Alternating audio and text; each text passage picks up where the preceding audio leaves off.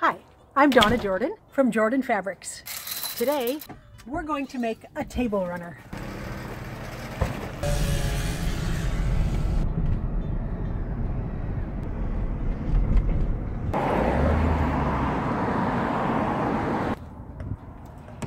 We're going to use a pattern from Cozy Quilt Designs.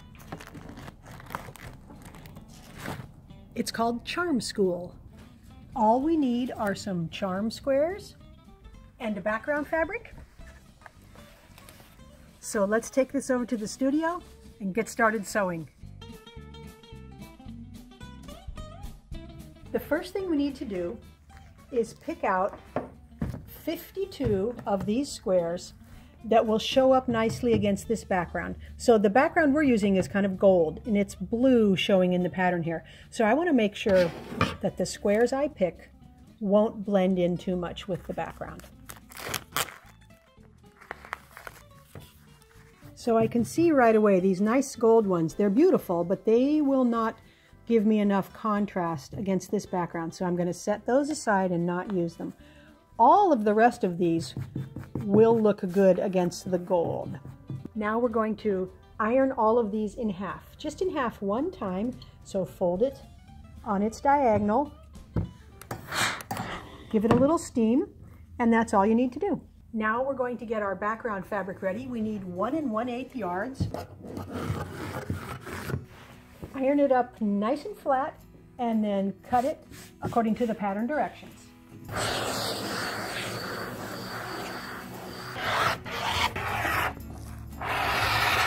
Now we're going to pin these folded squares onto the background. So we're just going to match up all the edges there and we're going to put four of them on, one in every corner. And you see they overlap just a little bit and that's, that's good. The last square you want to tuck under the corner under your first one there. Then line everything up and put some pins in so they will stay in place while you sew. The easiest way to keep these in place is to just baste around the edge 1 8th of an inch from the edge. This is just a long basting stitch just to make everything stay in place so that when we get all these squares done we can stitch them together without these corners moving. Look at how fun these blocks are. They're three, they're three dimensional. So each one is open here. So it's a lot of extra fabric here and that's going to give the runner a lot of really nice texture when it's all done. So I'm going to go ahead and make up the rest of my blocks with my triangles there.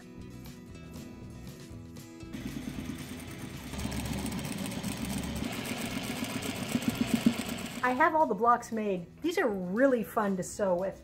I really enjoyed the whole process. So I've got it all laid out and it's pretty balanced so that I've got the the lights and the darks not meeting up right next to each other. And I think it looks pretty good. So I'm gonna sew the rows together. So I like to just pick it up in order and take it right over to the machine so I can stitch these together. What I like to do is flip this whole stack over and put it on my lap. And then the one that's on the top, that is going to go over there. The next one, I'm gonna flip it and it's going to fit right there. So if I just do that every time, my row will stay in order. Now we're going to stitch these together with a quarter inch or maybe even slightly deeper than a quarter inch seam allowance since we have so many layers.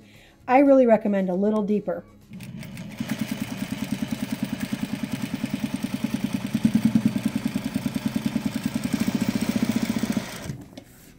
Very easy stitching. Now we're just going to get the next block and it's going to fit right here. Now I'm just going to trim off the pointed end of the runner here. We've got a little bit more than we need. I have the top all done. Now we're ready to put together our quilt sandwich. So I've got the back laid out here and I'm the back is wrong side up. I'm going to put the batting right on top of it. So this is the same procedure you would use if you were putting a quilt onto a quilting machine. We're just layering everything up we put the quilt wrong side down on top of everything and we flatten everything out. And then I'm gonna put quite a few pins all the way around the edge.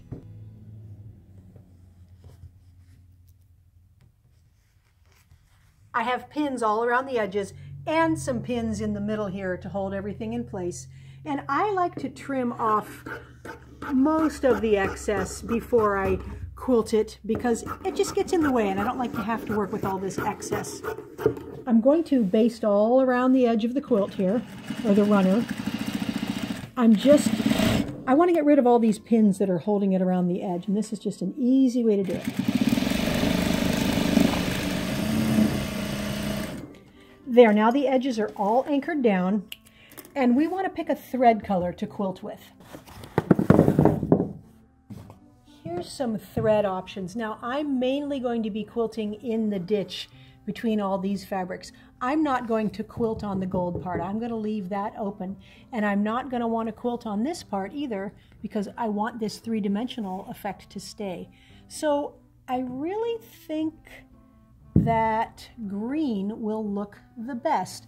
Brown would work, but I've got a green back, so I think I'm going, going to use green on the top and on the bottom.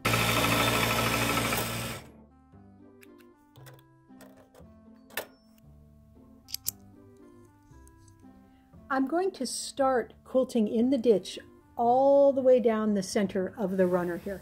So I'm going to back tack at the beginning,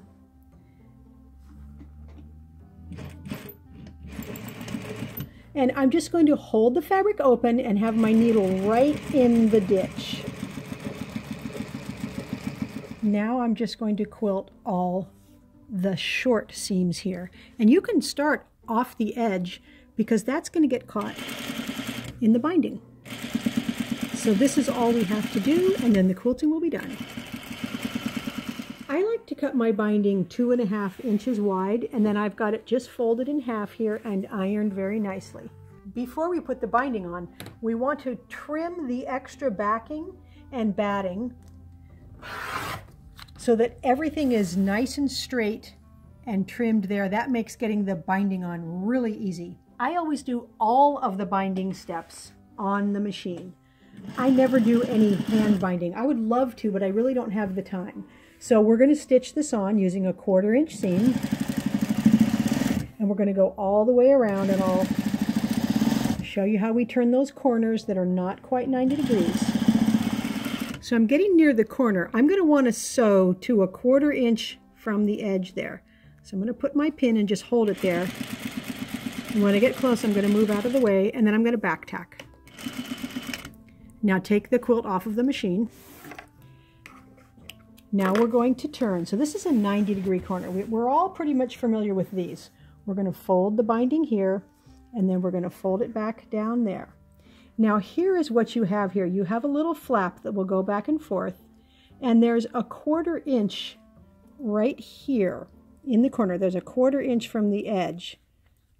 And that quarter inch is critical because when we come to our corner that's not 90 degrees, we're going to use that same quarter inch. So start sewing right where that pin is pointing there. I like to point the pin there, move it out of the way, and then sew.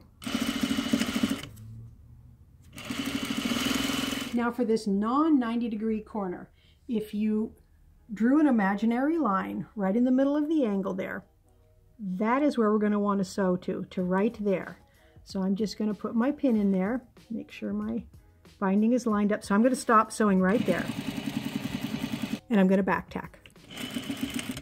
So we're going to fold it again. The angle's a little bit dif different this time. And then fold it back. And what we want is, I want to be pinching a quarter inch so that we've still got this little flap that's going back and forth. And we've got a quarter inch in it here. And this side is lined up there. So right where it's flapping there, that's where I'm going to start sewing right there. So you can even hold that pin there, slide it over, Get that right under where the needle will go, move your pin, and then start sewing. Then continue on the straight. Once you have the binding on, you just want to finger press this. Pull it open and finger press all the way around. Now take your binding and fold it over the edge of the quilt to the back of the quilt. So we've got about a half inch showing there. And I'm going to stitch right in the ditch here and it's going to catch the binding on the back side. Now that I'm coming to this non-90 degree angle here, let me show you how to turn this to the back side. So go on the far side here, not the side you were just sewing on, and fold it over. And just make that straight in a straight line with that, and then fold that back a little bit.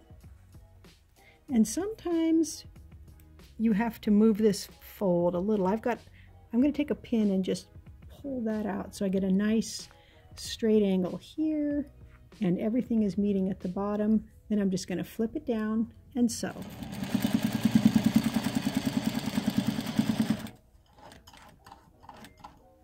Pivot when you get to the corner. Keep going. Now we have nice binding all the way around there. The Charm Square Runner is all done. It was so much fun to make and I'm so happy with how it turned out. I love that these are all loose. It just gives the table runner a lot of texture and dimension and the binding really finishes this off very nicely. Here's the green that I used on the back. It matches, but it's a little bit different because sometimes I flip my runners over and use that side also. So it came out 17 by 70. It's nice and big. And as usual, Cozy Quilt design patterns are just a breeze to follow. Thank you so much for watching our tutorial today on how to make the Charm Square Runner. I hope you enjoyed it. Now we're going to have another giveaway. We're going to give away a quilt. We're going to give away this nice snowball quilt. This is made with a Moda Fabrics collection called Wild Nectar. Really cheerful and fun.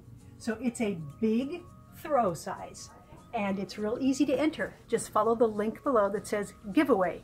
Enter your email address and your name and you might be the lucky winner. Remember, it's open to everyone worldwide. Good luck.